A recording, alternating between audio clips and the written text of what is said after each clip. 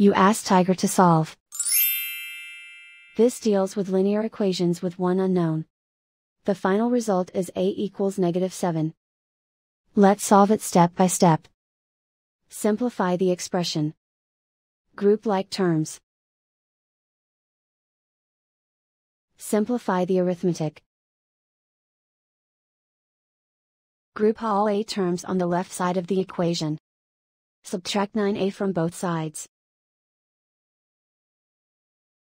Group like terms. Simplify the arithmetic. Group like terms.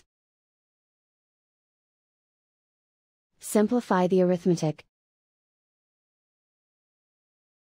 Group all constants on the right side of the equation. Add 16 to both sides. Simplify the arithmetic.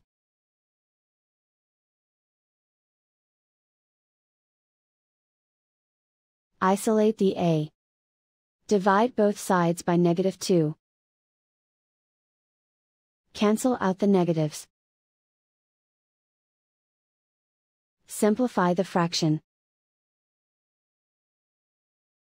Move the negative sign from the denominator to the numerator.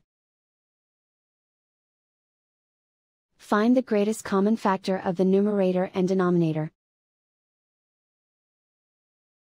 Factor out and cancel the greatest common factor. And so the final result is a equals negative 7.